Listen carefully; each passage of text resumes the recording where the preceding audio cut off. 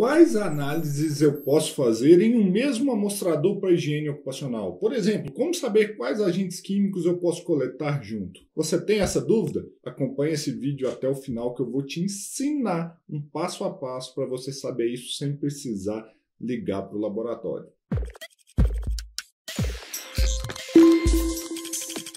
Fala galera, vocês estão respirando bem por aí? Eu sou Leandro Magalhães, higienista ocupacional certificado especialista em riscos químicos para higiene ocupacional. Sou criador do método HO Fácil Agentes Químicos e também diretor executivo da Analytics Brasil, o Laboratório de Análises Químicas para Higiene Ocupacional, que é o seu porto seguro na tomada de decisão das avaliações químicas para higiene ocupacional. E hoje, no nosso quadro da série Analytics Responde, eu vou falar sobre a decisão, como definir se um agente pode ou não pode ser analisado junto dentro de um amostrador. Por exemplo, você vai a campo, tem mais de um agente. Ah, eu quero coletar tudo junto no mesmo cassete, por exemplo, ou no mesmo tubo.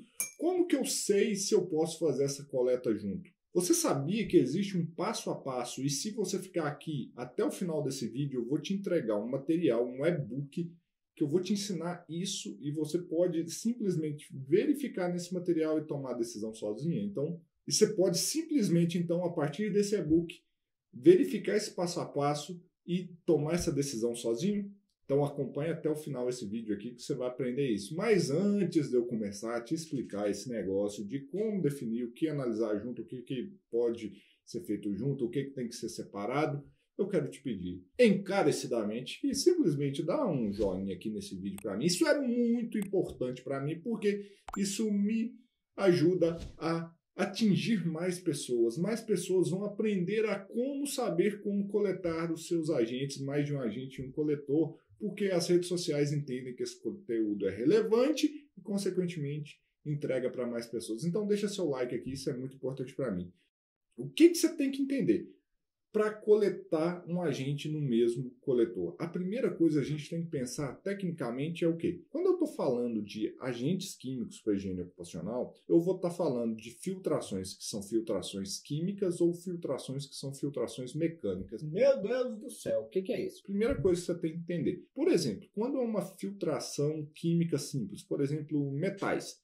Ah, vou analisar alguns fumos metálicos, fumos de alguns metais ou poeiras metálicas de alguns metais. Eu utilizo um cassete com um filtro de celulose, por exemplo. E aí a retenção desse material no filtro é uma retenção mecânica, ou seja, vai filtrar o ar por filtragem comum mesmo, pelos poros desse material. Então esse é um processo de filtração mecânica. E aí, nesse caso, a única coisa que eu tenho que avaliar para saber se ele pode ou não ser ah, coletado junto é o procedimento de análise no laboratório. Será que, se eu coletar esses agentes juntos, eles podem ser analisados dentro do laboratório? E eu te explico isso que é muito importante, que é assim, porque quando eu estou falando de filtração mecânica, os particulados ficarão presos ali no material, no filtro.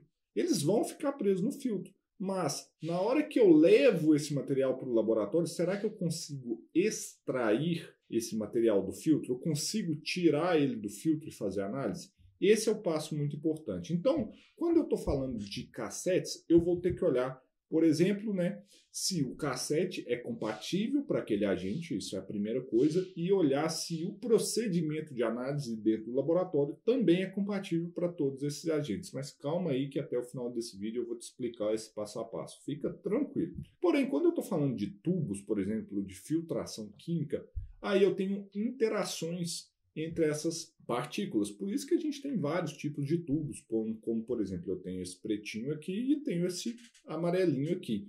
E muda completamente. Esse tubo aqui é utilizado para grande maioria para solventes orgânicos e esse daqui para aldeídos. Por que, que isso muda? Um aldeído dificilmente vai ficar preso nesse carvão. Por quê? Ele não interage bem com o carvão. Então ele simplesmente passa aqui e sai do outro lado nas mesmas quantidades, ele não fica preso, enquanto no amarelinho ele fica bem preso. Mas, por exemplo, nesse tubo aqui, se eu for analisar tolueno, que é um solvente comum em gráficas, o tolueno vai ter uma boa retenção, vai ficar preso aqui.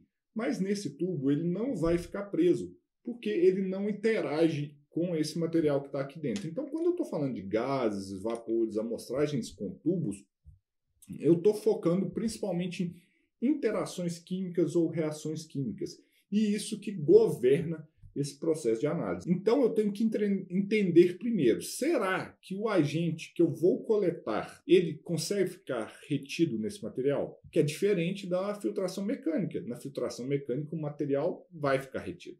Agora quando eu estou falando de gases e vapores, não, eu tenho que pensar se ele vai ficar retido. A segunda pergunta é, se ele ficou retido, eu consigo arrancar ele desse material? Isso é muito importante, porque às vezes o pessoal faz tubos aí com materiais adsorventes maravilhosos, prende o material muito bem, mas a gente não consegue arrancar ele nem a porrete de dentro do tubo. E aí, o que, que adianta analisar? Isso é uma pergunta importante. Você está achando isso muito complicado? Mas pode ficar tranquilo, tem como facilitar. A gente padroniza isso para vocês, para vocês encontrarem uma forma bem simples de analisar esse material. Então, eu vou te passar uma regra aqui muito importante que você tem que analisar e na sequência eu vou te apresentar como você olha isso. É o seguinte, a regra é o seguinte, a primeira coisa que você tem que fazer é listar quais agentes estão presentes naquele ambiente de trabalho.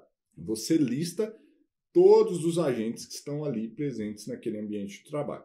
Depois você vai listar quais são os amostradores, os códigos desses amostradores que são utilizados para coletar esse agente. Aí você lista os códigos desses amostradores. Ótimo. Depois você vai verificar se o procedimento de análise dentro do laboratório é compatível para esses agentes. Aí começa a complicar. Muitos laboratórios não te fornecem isso, mas eu vou te mostrar uma maneira simples que a gente aqui na Analytics fez. Você vai ter acesso a todo esse material. Porque lembre-se, não é só coletar o agente, não é só o agente estar presente e ser coletado no mesmo amostrador. A gente precisa saber se ele operacionalmente pode ser realizado a análise dentro do laboratório. Isso é muito importante você ter em mente. Então, a gente tem que coletar e o laboratório tem que ter capacidade operacional e de procedimentos de análise para fazer a análise desse agente. Então, não é só coletar o agente a gente precisa saber se ele pode ser coletado no mesmo amostrador, mas também se o laboratório consegue fazer a análise dele junto. Ficou claro até aqui? E como que você vai saber isso? Como que você vai definir se você pode fazer essas análises juntos? Nós preparamos isso de uma maneira super simples, super tranquila para você ter essa noção, que é o Diretório de Análises da Analytics Brasil, que é um material que tem mais de 600 substâncias li químicas listadas, está tudo aqui decifrado para você. Esse material você pode fazer o download, é um e-book que está na descrição desse vídeo. Vai lá no link que está aqui embaixo, faz o download e aqui a gente tem procedimentos de análise, tudo bonitinho. E como que você vai definir então quais os agentes que você vai analisar? Se você for aqui na tabela de agentes aqui no nosso material, aqui você tem a tabela de agentes do nosso material. Então você vai olhar o código do amostrador. Então, você olha aqui o código do amostrador e também o labcode. Labcode, o que, que é o labcode? É um código interno, aqui nesse caso da Analytics, mas você pode perguntar se o laboratório a qual você trabalha tem esse código. Nós resolvemos facilitar a sua vida. Nós aqui da Analytics sabemos que às vezes vocês não têm acesso a essa informação de dentro do laboratório para padronização dos processos, então a gente padronizou para vocês. Então, o que, que você tem que olhar? Primeira coisa, lista todos os agentes e coloque os códigos dos agentes aqui que estão no diretório nessa planilha sua. Depois, liste os lab codes. Para você poder analisar esse agente juntos, tem que bater tanto o lab code quanto o código do amostrador. Vou te dar um exemplo simples aqui que está na cara. Ó, se eu pegar o 1,1,1,1 tricloroetano, ele utiliza um tubo, que é o T01, e ele possui um lab code A. E eu tenho aqui o 1,1,2,2 tetracloroetano. Aqui eu tenho ó, um tubo que é o T81 e o lab code A que, que eu vejo aqui? Opa, já não dá para fazer, porque aqui é T81. Será que eu consigo fazer 1,1,2 tricloro 1,2 é 1,2,2 trifluoroetano, olha, é T01A. Então quer dizer que eu consigo.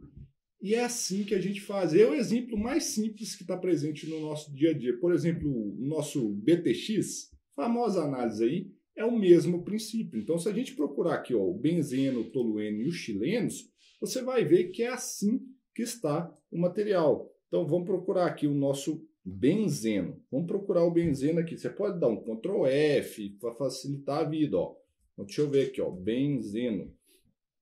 Vai facilitar a nossa vida aqui, ó. Benzeno. Ó, já encontrei. O benzeno, ele está com um tubo T01 e um labcode A. Então tá, T01, labcode A. Se eu for no tolueno, vou lá, ó, tolueno, que eu também tenho, ó, T01, labcode A. Opa, então estou podendo fazer junto. Então, se eu fizer os chilenos, olha aqui para você ver, T01, labcode A. Olha que interessante. Viu da onde surgiu o BTX? É daqui. E é daqui também que surge, por exemplo, a varredura de solventes. É assim que é feita a seleção dos agentes para fazer a varredura de solventes, aonde primeira coisa que a gente tem que ver é a compatibilidade para esses amostradores serem coletados no mesmo amostrador e também a possibilidade deles serem analisados juntos no mesmo procedimento de análise. É assim que se monta uma varredura. E com esse material aqui, você tem um passo a passo que você pode consultar a qualquer momento e montar, inclusive, a sua própria varredura, se você trabalha aqui com Analytics Brasil. Lembrando que você pode fazer o download desse material aqui embaixo, tem aqui na descrição desse vídeo esse material. E Seja autossuficiente, aprenda a dominar os agentes químicos, tenha segurança e confiança na hora de tomar a decisão. Nós aqui da Analytics Brasil te ajudamos a tomar essas decisões aqui para você não ficar refém dos laboratórios.